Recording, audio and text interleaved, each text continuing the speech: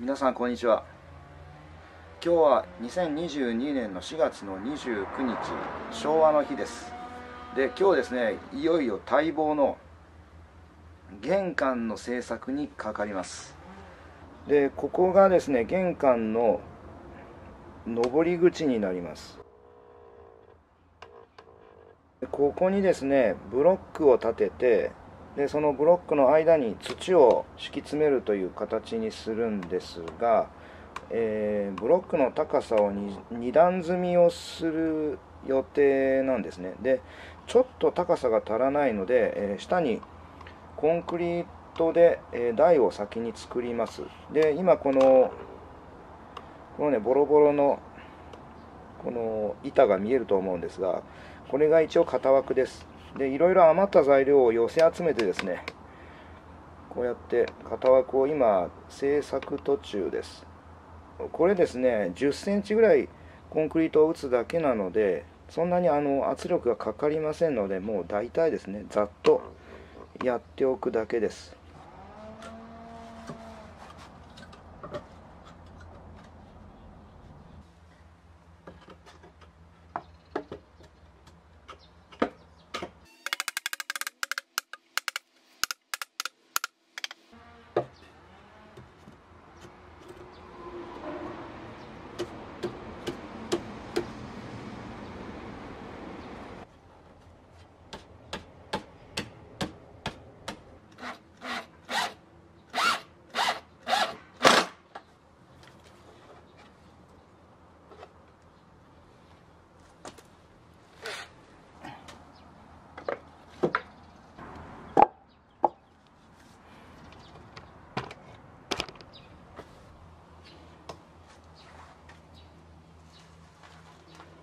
えーとこれでとりあえずはこの型枠完成です。もうほとんど重りこのブロックの重さでこう固定してるだけですね。もうほとんど動かないですね。結構しっかりしてます。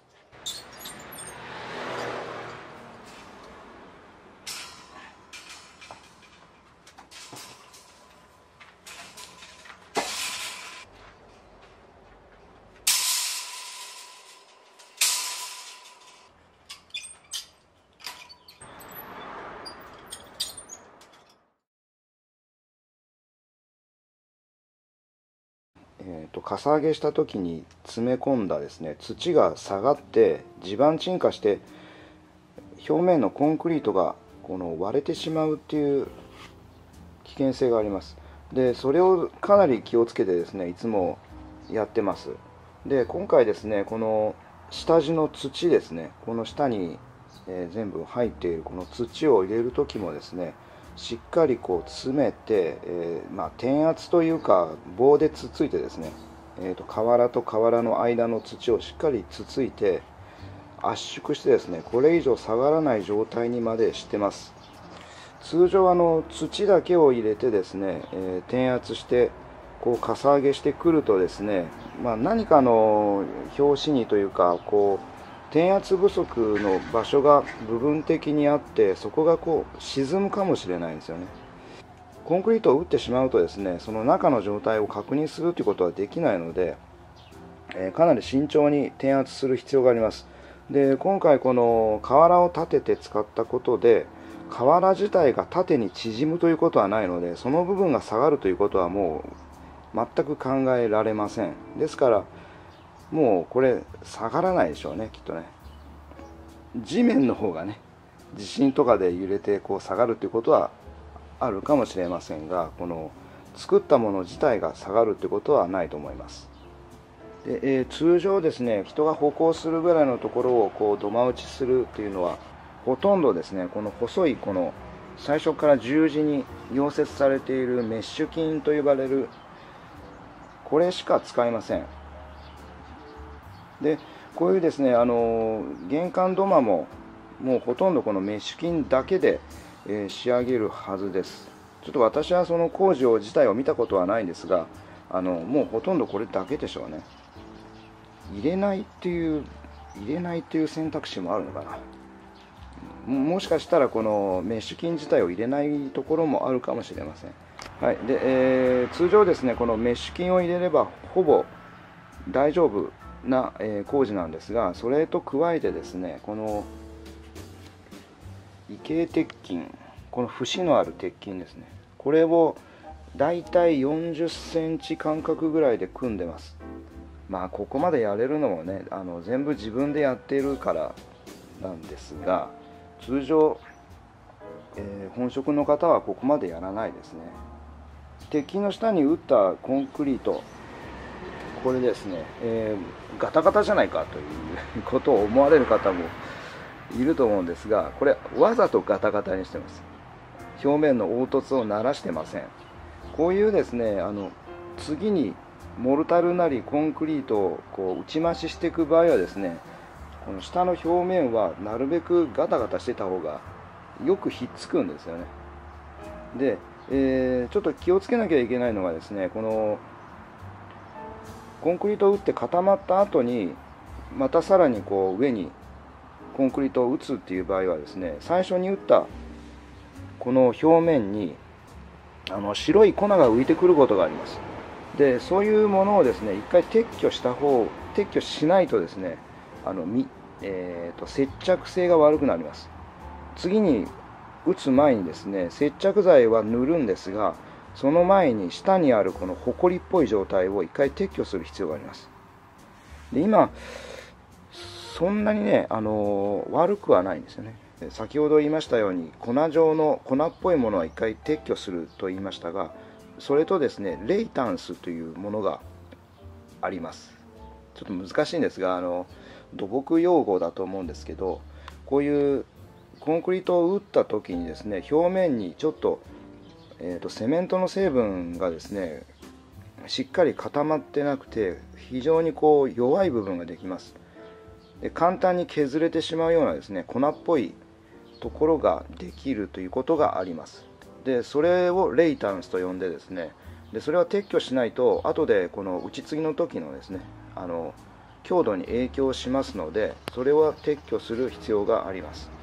ですがですねあの私の打ったこのまあ、雑な雑なコンクリートでもですねレイタンスは確認できませんでした。ですからあと表面の粉粉状のですねホコリっぽいものを取って、えー、接着剤を塗ってで次のコンクリートを脱雪するという工程になります。はい、えー、いかがだったでしょうか？